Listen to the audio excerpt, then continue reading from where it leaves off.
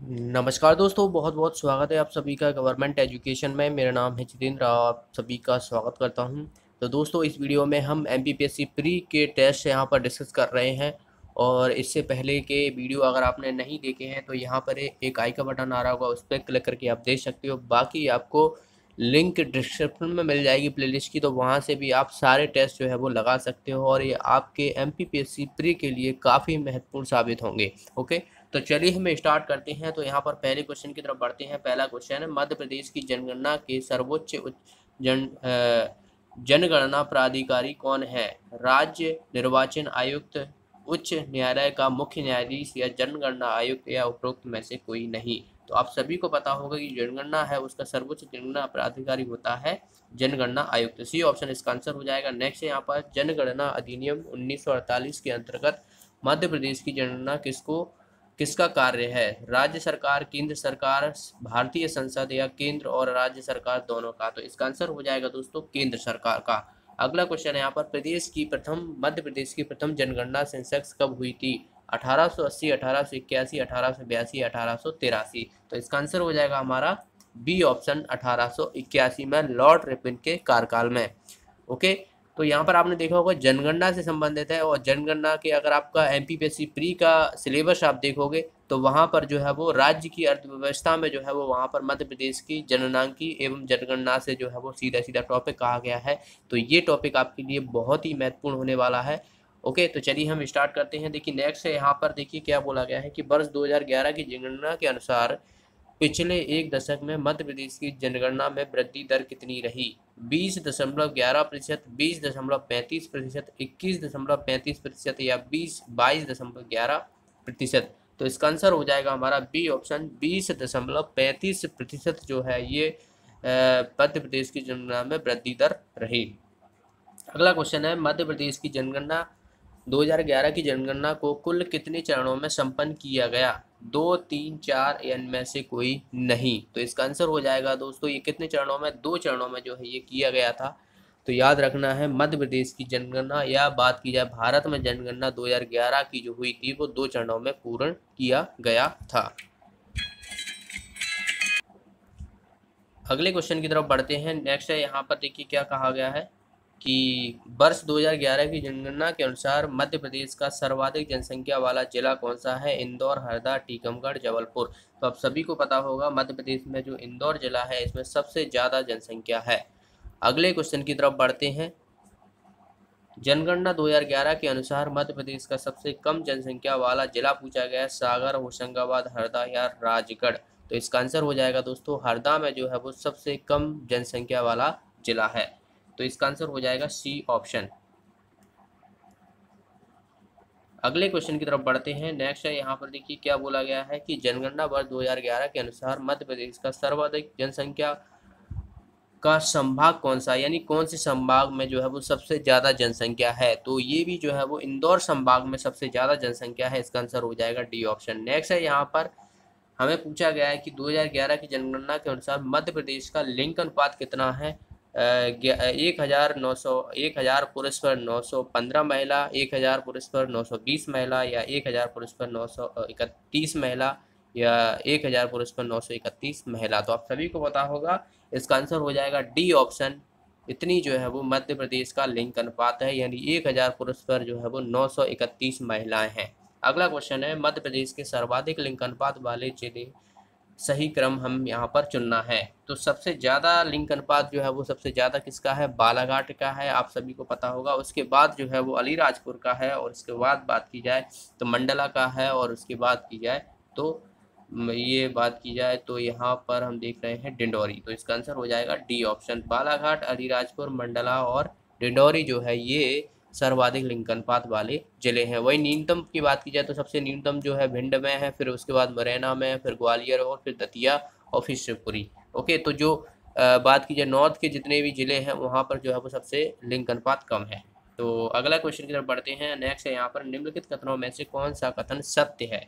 2011 की जनगणना के अनुसार मध्य प्रदेश का जनसंख्या घनत्व तो 236 प्रति वर्ग किलो, वर्ग किलोमीटर है।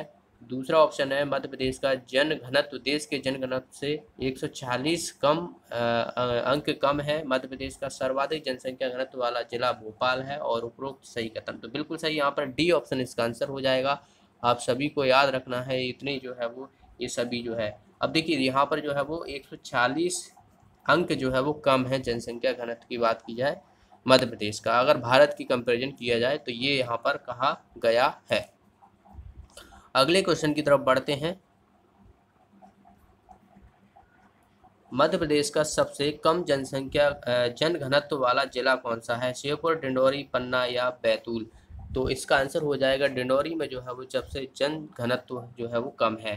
नेक्स्ट है यहाँ पर वर्ष 2011 की जनगणना के अनुसार मध्य प्रदेश की साक्षरता दर कितनी है? सत्तर दशमलव तेईस प्रतिशत, उनसठ दशमलव बत्तीस प्रतिशत या पैंसठ दशमलव पचपन प्रतिशत या इकहत्तर दशमलव तिरपन प्रतिशत। तो इस आंसर हो जाएगा हमारा बी ऑप्शन इतना जो है वो मध्य प्रदेश की साक्षरता दर है उनसठ उनहत्तर दशमलव सॉरी उनहत्तर दशमलव बत्तीस प्रतिशत। अगला क्वेश्चन है यहाँ पर मध्य प्रदेश का सर्वाधिक पुरुष साक्षरता वाला जिला कौन सा है? इंदौर, भोपाल, जबलपुर या बालाघाट।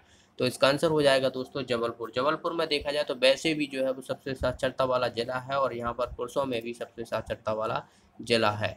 अगले क्वेश्चन की तरफ़ पढ़ते हैं वर्ष 2011 की जनगणना के अनुसार मध्य प्रदेश का सर्वाधिक साक्षरता वाला जिला कौन सा है? तो अभी मैंने बताया जबलपुर इसका आंसर हो जाएगा ए ऑप्शन अगला क्वेश्चन की तरफ़ पढ़ते हैं नेक्स्ट है यहाँ पर, अनुसूचित जाति जनसंख्या की दृष्टि से मध्य प्रदेश का देश में कौन सा स्थान है? यानी अनुसूचित जाति की जनसंख्या मध्य प्रदेश में, सब बात कीजिए कौन से स्थान पर है? तो ये जो है वो आठवां है इसका आंसर हो जाएगा हमारा सी ऑप्शन। नेक्स्ट यहाँ पर मध्य प्रदेश का सर्वाधिक कुल कार्य सहभागिता दर वाला जिला कौन सा है? कुल कार्य सहभागिता दर वाला जिला ग्वालियर, भोपाल, डिंडोरी या होशंगाबाद। तो इसका आंसर हो जाएगा हमारा डिंडोरी।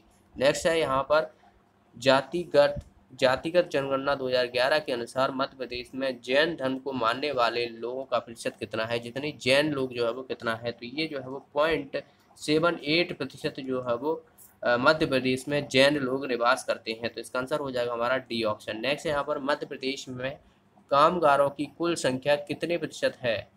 एक, तैतालीस दशमलव पाँच प्रतिशत, पचपन दशमलव पाँच प्रतिशत, तिरसठ दशमलव पाँच प्रतिशत या चालीस दशमलव पाँच प्रतिशत तो इसका आंसर हो जाएगा दोस्तों, क्या हो जाएगा? जो तैतालीस दशमलव पाँच प्रतिशत जो है, वो कुल कारगार कामगारों की जनसंख्या है। नेक्स्ट है यहाँ पर मध्य प्रदेश में जनसंख्या नियंत्रण दिवस कब मनाया जाता है?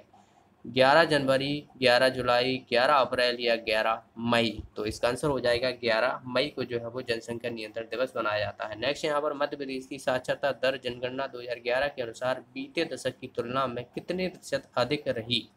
ओके तो कितने प्रतिशत अधिक रही है? यहाँ पर क्या बात की है? साक्षरता दर। ओके तो साक्षरता दर की बात की गई है तो इसमें जो है वो पाँच दशमलव छः दो प्रतिशत जो है वो रही। इसका आंसर हो जाएगा हमारा बी ऑप्शन। नेक्स्ट है यहाँ पर मध्य प्रदेश की जन कुल जनसंख्या, देश की कुल जनसंख्या का कितना प्रतिशत है? पाँच प्रतिशत छः प्रतिशत सात प्रतिशत या आठ प्रतिशत? तो मध्य प्रदेश की जो टोटल जनसंख्या है वो पूरे भारत की छः प्रतिशत है। इसका आंसर हो जाएगा बी ऑप्शन नेक्स्ट है यहाँ पर मध्य प्रदेश में जनसंख्या नियंत्रण के लिए परिवार नियोजन कार्यक्रम कब शुरू किया गया था?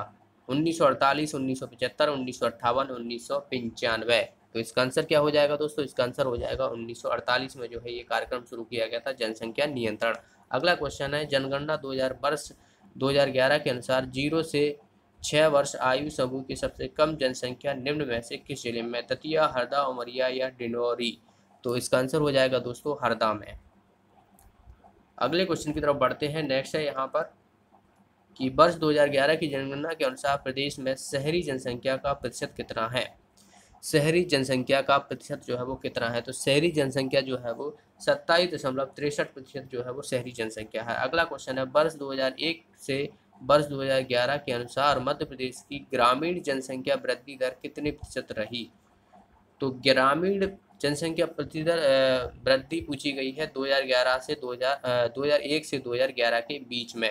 तो दो, ये जो है वो कितनी रही थी? अठारह दशमलव चालीस प्रतिशत जो है वो रही। इसका आंसर हो जाएगा ए ऑप्शन। नेक्स्ट है यहाँ पर मध्य प्रदेश में 2011 की जनगणना के निर्देशक कौन थे?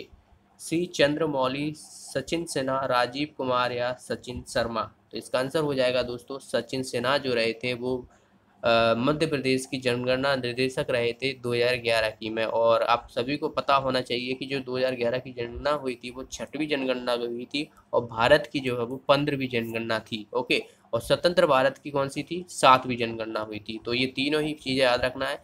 मध्य प्रदेश की आपसे पूछा जाए तो छठवीं रही थी, भारत की पूछी जाए तो पंद्रहवीं जनगणना रही थी और स्वतंत्र भारत की पूछी जाए तो सातवीं जनगणना रही थी। अगले क्वेश्चन की तरफ़ बढ़ते हैं। मध्य प्रदेश का सर्वाधिक क्षेत्र क्षेत्रफल वाला जिला कौन सा है? शिवपुरी, सागर, छिंदवाड़ा या बालाघाट?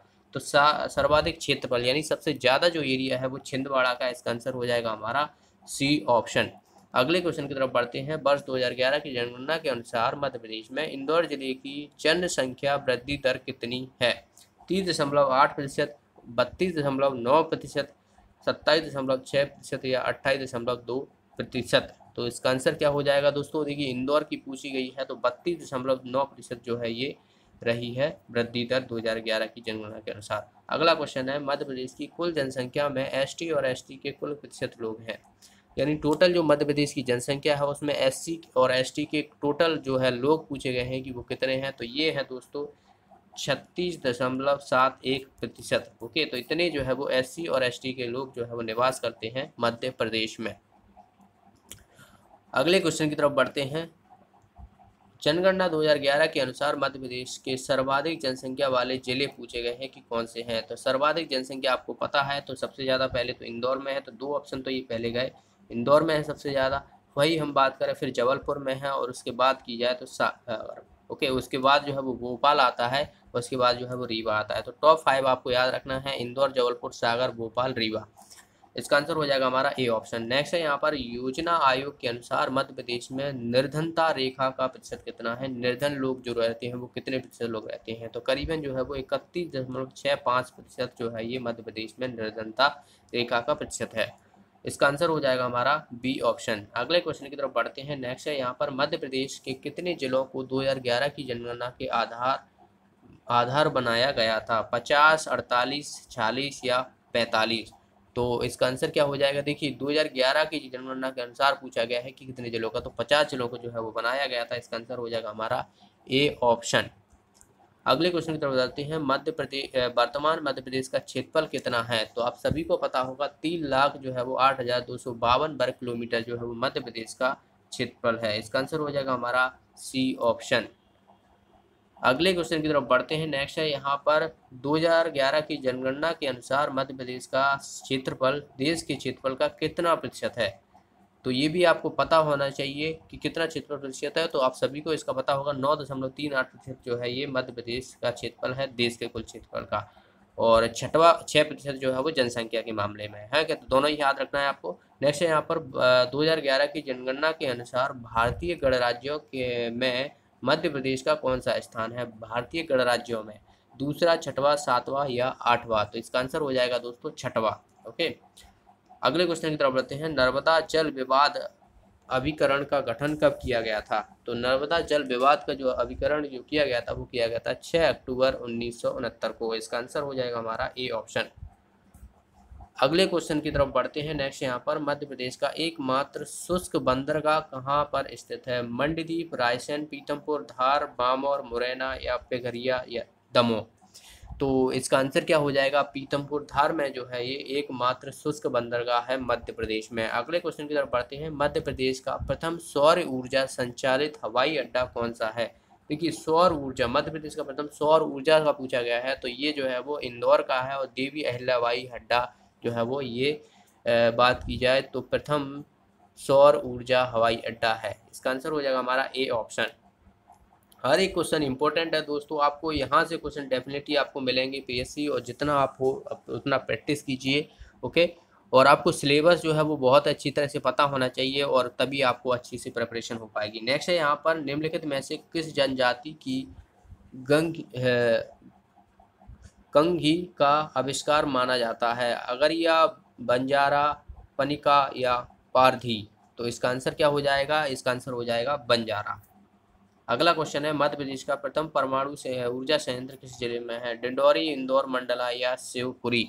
तो इसका आंसर हो जाएगा दोस्तों, मंडला में है। प्रथम परमाणु ऊर्जा संयंत्र जो कि मध्य प्रदेश का है, याद रखना है आपको, ये चुटका गाँव में है और इसकी क्षमता जो है वो 1400 मेगावाट है। तो इसे भी आपको याद रखना है। अगले क्वेश्चन की तरफ़ बढ़ते हैं। नेक्स्ट है यहाँ पर, मध्य प्रदेश का प्रथम यूनानी चिकित्सालय महाविद्यालय कहाँ पर है? भोपाल, इंदौर, सागर या बुरहानपुर। तो इसका आंसर हो जाएगा दोस्तों, बुरहानपुर में है पहला प्रथम यूनानी चिकित्सा महाविद्यालय। अगले क्वेश्चन की तरफ़ बढ़ते हैं। नेक्स्ट है यहाँ पर भारतीय प्रबंधन संस्था आईआईएम मध्य प्रदेश के किस ज़िले में है? तो आईआईएम ये आप सभी को पता होगा, इंदौर में है। आईआईटी और आईआईएम दोनों ही जो है वो इंदौर में है। इन दोनों को आपको आपको याद रखना है। इसकी स्थापना आपसे पूछी जा सकती है तो 1996 में हुई थी और ये देश का छठवा आईआईएम है। ओके, छठवा आईआईएम है। अगला क्वेश्चन है यहाँ पर। कि अटल बिहारी वाजपेयी भारतीय सूचना प्रौद्योगिकी एवं प्रधान प्रबंधन संस्था मध्य प्रदेश में कहाँ पर है? भोपाल, जबलपुर, ग्वालियर या इंदौर? तो ये जो है वो अटल बिहारी वाजपेयी का जन्म जो है वो ग्वालियर में हुआ है तो वहीं पर जो है ये स्थापित है अटल बिहारी वाजपेयी भारतीय सूचना प्रौद्योगिकी एवं प्रबंधन संस्था। इसी ऑप्शन इसका आंसर हो जाएगा। नेक्स्ट है यहाँ पर, मध्य प्रदेश के निम्न में से किस ज़िले में आयुर्वेद चिकित्सा महाविद्यालय स्थित नहीं है? ओके, नहीं है, पूछा गया उज्जैन, बुरहानपुर, रीवा या सागर। तो आयुर्वेद की बात की गई है तो सागर जो है ये उपस्थित नहीं है या स्थित नहीं है। अगला क्वेश्चन है यहाँ पर, विक्रम विक्रम विश्वविद्यालय में स्थापित सृजन पीठ का नाम है। निराला सृजन पीठ, मुंशी प्रेमचंद सृजन पीठ, दुर्गावती सृजन पीठ या राजशेखर सृजन पीठ। तो विक्रम विश्वविद्यालय, ये आपको पता होना चाहिए कि सबसे पहले तो ये कहाँ पर है? तो विक्रम विश्वविद्यालय जो है ये उज्जैन में है और यहाँ पर मुंशी प्रेमचंद सज्जन पीठ स्थित है। तो इसका आंसर हो जाएगा हमारा बी ऑप्शन। और निराला सज्जन पीठ आपसे बात की जाए तो देखिए निराला यहाँ पर दुर्गावती और राजशेखर, ये सभी आपको एक बार देख लेना। दुर्गावती आपसे पूछी है तो दुर्गावती जो है ये कहाँ पर है? ये देवी अहिल्याबाई विश्वविद्यालय इंदौर में है तो वहाँ पर सज्जन पीठ है। ठीक है, राजशेखर की पूछ लिया जाए तो ये जबलपुर में है। ओके? तो ये आपको याद रखना है, ये सभी।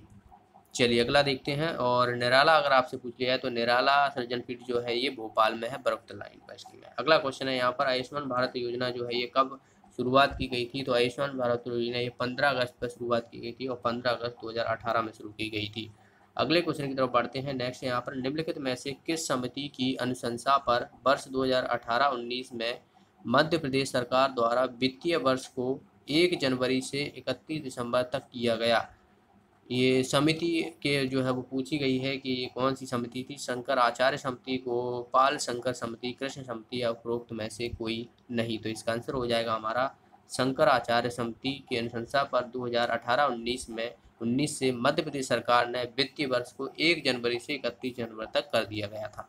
अगला क्वेश्चन है यहाँ पर स्वच्छता सर्वेक्षण 2020 में मध्य प्रदेश को लगातार कौन सी ए, कौन सी बार देश का सबसे स्वच्छ शहर सुना गया? तो एक सभी को पता होगा, इंदौर को चुना गया था और इंदौर को जो है ये चौथी बार सुना गया था। तो इसका आंसर हो जाएगा हमारा बी ऑप्शन। इंपॉर्टेंट है, याद रखना है दो हज़ार सत्रह, अठारह, उन्नीस, बीस, ये चारों साल जो है वो लगातार इंदौर जो है वो स्वच्छ शहर सुना गया। अगला क्वेश्चन है, विश्व का सबसे बड़ा floating solar power plant Madhya Pradesh में कहाँ पर प्रस्तावित किया जा रहा है? तो आप सभी को पता होगा, कई बार मैंने बताया है इस पर एक पे करंट अफेयर्स का वीडियो भी अपलोड कर चुका हूँ तो ये ओमकारेश्वर में है, इसका आंसर हो जाएगा हमारा ए ऑप्शन नर्मदा नदी पर। नेक्स्ट है यहाँ पर कि 10 जुलाई 2020 को मध्य प्रदेश के किस ज़िले में एशिया का सबसे बड़े सोलर प्लांट का उद्घाटन किया गया था? तो ये भी जो है वो रीवा में है और इसकी क्षमता जो है वो साढ़े सात सौ मेगावाट है, ठीक है? और जो सोलर पूछ लिया जाए कि फ्लोटिंग सोलर वाल, उसकी कितनी है? 600 मेगावाट है।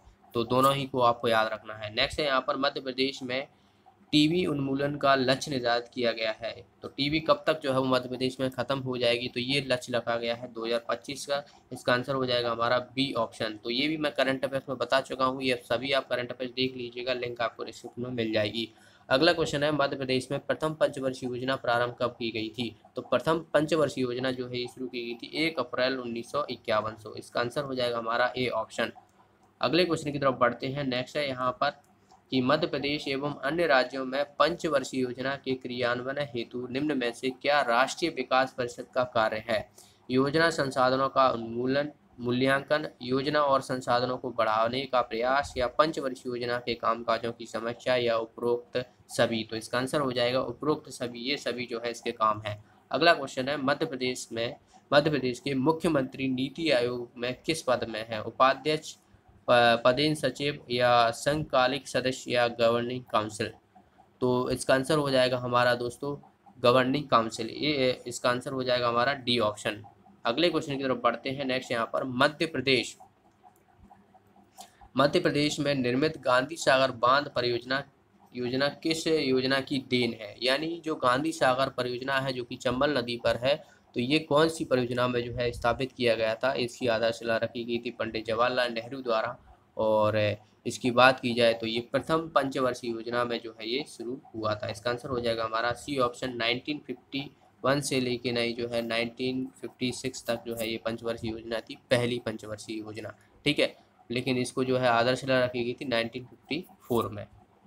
अगले क्वेश्चन की तरफ़ बढ़ते हैं। मध्य प्रदेश सॉरी प्रथम पंचवर्षीय योजना के अंतर्गत मध्य प्रदेश में सर्वाधिक व्यय किसमें हुआ है? सहकारिता, सिंचाई एवं बिजली, स्वास्थ्य और शिक्षा, कृषि या सामुदायिक विकास। तो इसका आंसर हो जाएगा कृषि एवं सामुदायिक विकास। अगला क्वेश्चन है यहाँ पर, द्वितीय पंचवर्षीय योजना में मध्य प्रदेश में सर्वाधिक व्यय किस मद में हुआ? कृषि एवं सामाजिक विकास, शिक्षा परिवहन और संचार या सिंचाई एवं विद्युत? तो द्वितीय पंचवर्षीय योजना की बात की गई है यहाँ पर। तो द्वितीय पंचवर्षीय योजना में जो है वो सिंचाई एवं विद्युत पर जो है वो किया गया। तो इसका आंसर हो जाएगा हमारा डी ऑप्शन। नेक्स्ट है यहाँ पर मध्य प्रदेश में योजनाओं का वास्तविक प्रारंभ किस पंचवर्षीय योजना में माना जाता है? द्वितीय पंचवीय तृतीय या चतुर्थीय?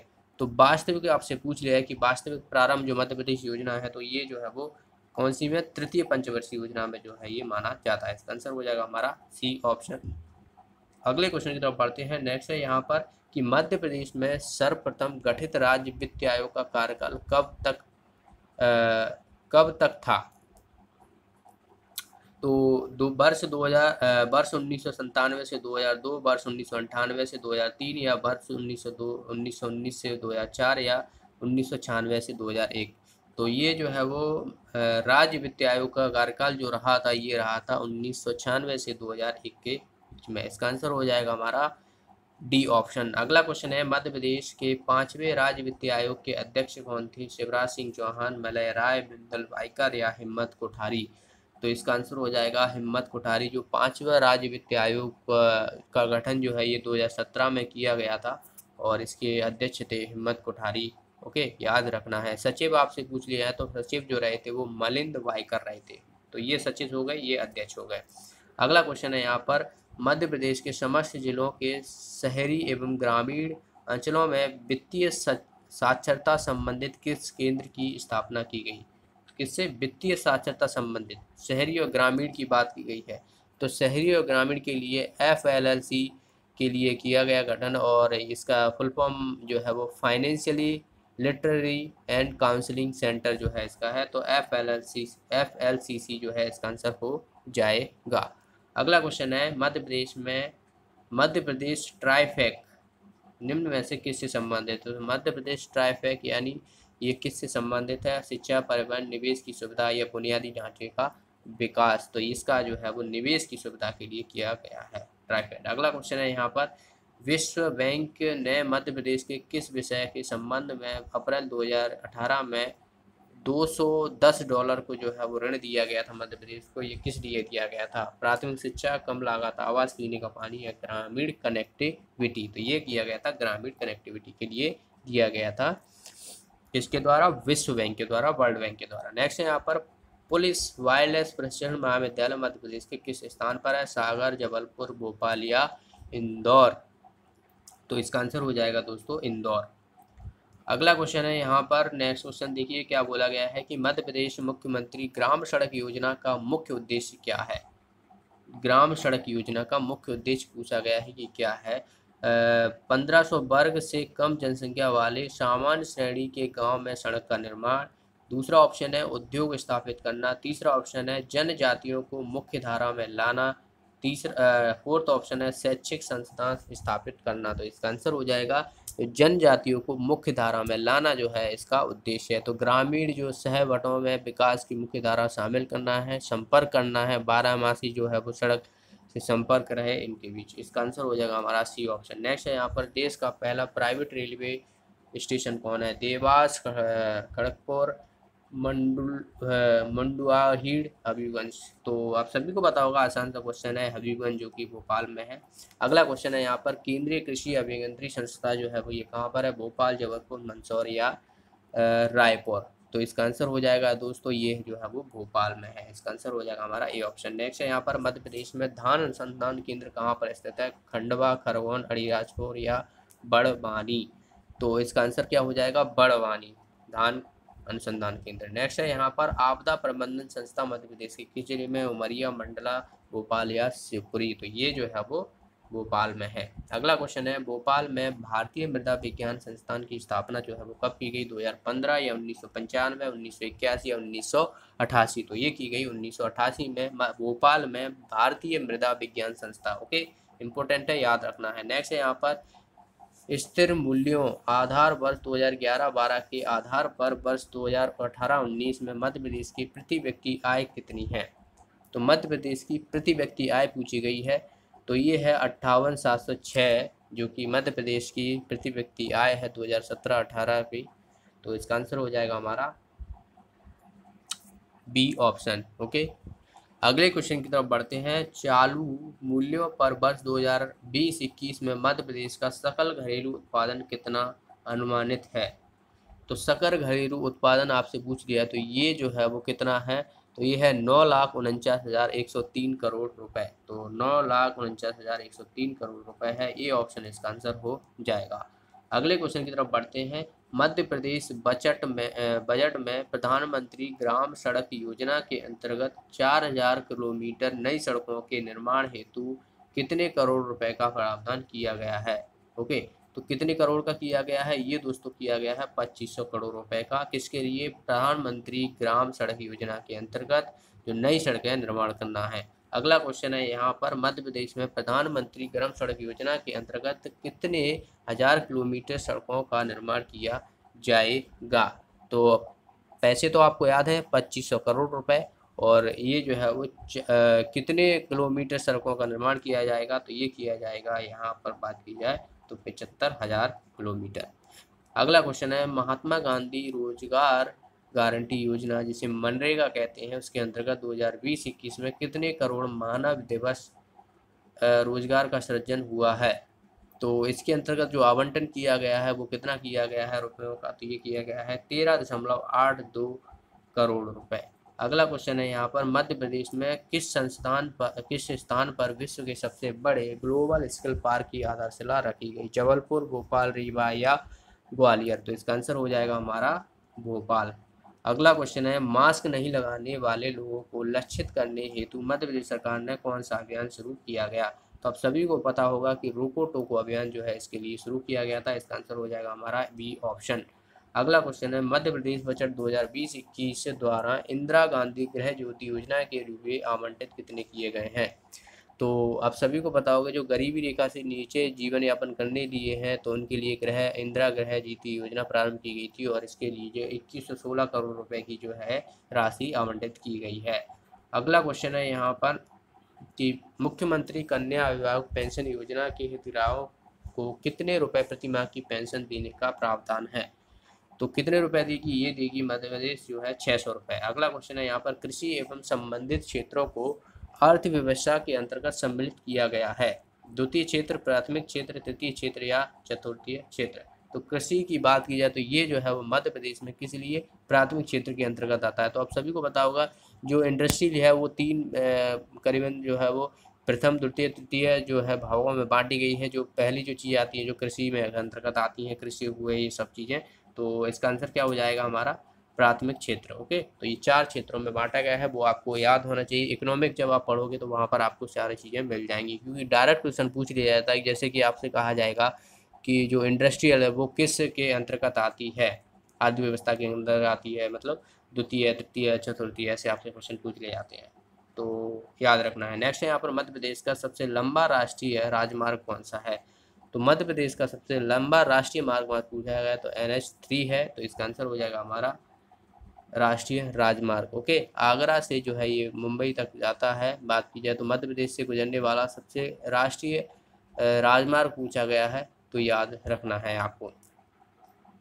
अगला क्वेश्चन है मध्य प्रदेश रोज़गार निर्माण बोर्ड का गठन किया गया था। तो रोज़गार निर्माण जो बोर्ड है, उसका गठन कब किया गया था? ये किया गया था 2004 में। अगला क्वेश्चन है यहाँ पर जवाहरलाल नेहरू जो नवोदय विद्यालय योजना का प्रारंभ ये कब से किस वर्ष जो है ये शुरू किया गया था? तो ये किया गया था दोस्तों 1986 में। अगला क्वेश्चन है, शिक्षा के मानव विकास सूचकांक में मध्य प्रदेश का कौन सा स्थान है? दसवा, तेरहवा, अठारहवा या पंद्रहवा? तो मानव विकास सूचकांक में जो है शिक्षा में, देखिए शिक्षा के हिसाब से कहा गई है तो शिक्षा के हिसाब से बहुत ही पीछे है, ये पंद्रहवा जो है स्थान है। अगले क्वेश्चन की तरफ़ होते हैं मध्य प्रदेश की जनसंख्या वृद्धि दर किस दशक में सर्वाधिक रही? तो जनसंख्या वृद्धि दर पूछी गई है तो ये रही थी हमारी बात की जाए तो 1961 से 1971 के बीच में। इसका आंसर हो जाएगा हमारा बी ऑप्शन। नेक्स्ट है यहाँ पर मध्य प्रदेश का एकमात्र शहर जहाँ आई आई टी आई एम स्थापित है तो ये मैं बता चुका हूँ, इंदौर है। अगला क्वेश्चन है यहाँ पर, मध्य प्रदेश राज्य कृषि विकास निगम का मुख्यालय कहाँ पर स्थित है? इंदौर, भोपाल, जबलपुर या ग्वालियर। तो इसका आंसर क्या हो जाएगा दोस्तों? इसका आंसर हो जाएगा हमारा भोपाल। अगला क्वेश्चन है, वर्ष 2018-19 के अनुसार देश में मध्य प्रदेश का दुग्ध उत्पादन में कौन सा रहा? प्रथम, द्वितीय, तृतीय या चतुर्थीय तो तृतीय स्थान रहा, तीसरा स्थान है मध्य प्रदेश जो है, वो दूध के उत्पादन में 2018-19 के हिसाब से। अगला क्वेश्चन है, संपूर्ण भारत के डोलामाइट भंडार का कितना प्रतिशत मध्य प्रदेश में भंडारित है? तो इसका आंसर हो जाएगा हमारा, देखिए कितना प्रतिशत पूछा गया है तो ये जो है वो सत्ताईस प्रतिशत जो है वो मध्य प्रदेश में स्थापित है, डोलामाइट भंडार, ओके? पूरे संपूर्ण भारत में सत्ताईस प्रतिशत जो है वो मध्य प्रदेश भूमिका निभाता है। अगले क्वेश्चन की तरफ़ बढ़ते हैं। नेक्स्ट है यहाँ पर। मध्य प्रदेश के किस ज़िले में आयुर्वेद महाविद्यालय स्थापित है? बुरहानपुर, रीवा, जबलपुर या उपरोक्त सभी? तो ये क्वेश्चन दोबारा हुआ है। वहाँ पर जो है वो नहीं पूछा गया था और वहाँ पर सागर दिया हुआ था तो नहीं हो जाएगा। ये सभी जगह जो है ये आयुर्वेदिक महाविद्यालय अवस्थित हैं।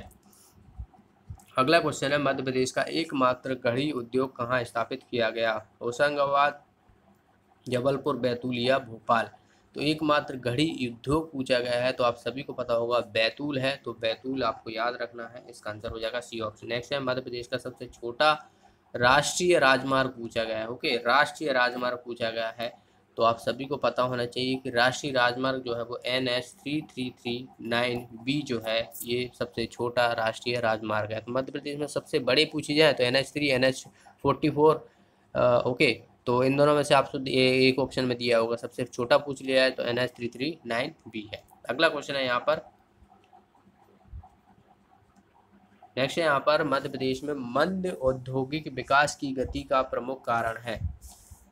पूंजी, निवेश एवं आधारभूत संरचना में कमी, अनुसंधान एवं तथा नीतियों का अभाव, सरकार द्वारा निजी क्षेत्र के प्रोत्साहन में कमी या उपरोक्त सभी। तो इसका आंसर हो जाएगा ये सभी जो है इसके लिए कारण है मंद उद्योग विकास में।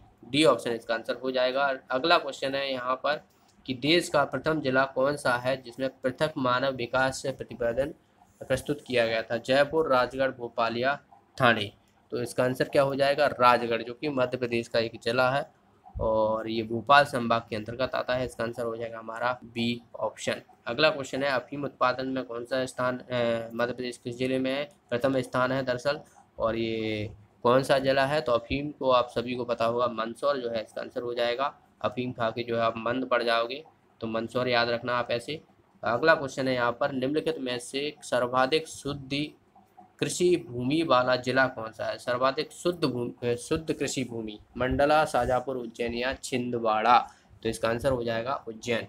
अगला क्वेश्चन है यहाँ पर कि मध्य प्रदेश में राज्य आर्थिक अपराध अन्वेषण ब्यूरो का मुख्यालय कहाँ है? जबलपुर, भोपाल, ग्वालियर या Indore?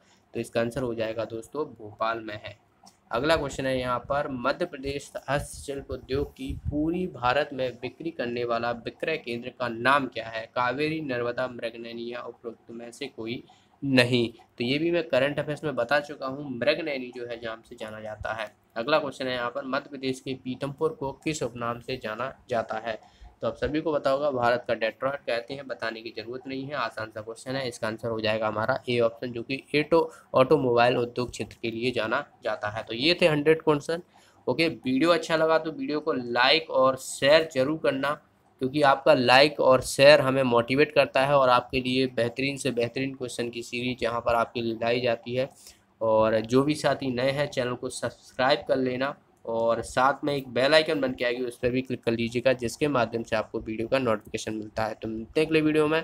Thanks for watching the video तब तक अपना ध्यान रखिए, घर में रहिए और बाहर बिल्कुल ना निकलें, क्योंकि अगर आपकी तबीयत ख़राब हुई तो आपका पढ़ाई का नुकसान जो है, ये मान के चलो कि दो तीन हफ़्ते तक खराब पढ़ाई जो है वो चली जाएगी। क्योंकि अभी जो बीमारी चल रही है, वो यही रहती है कि आपको दो हफ़्ते तक तो रहनी रहनी है।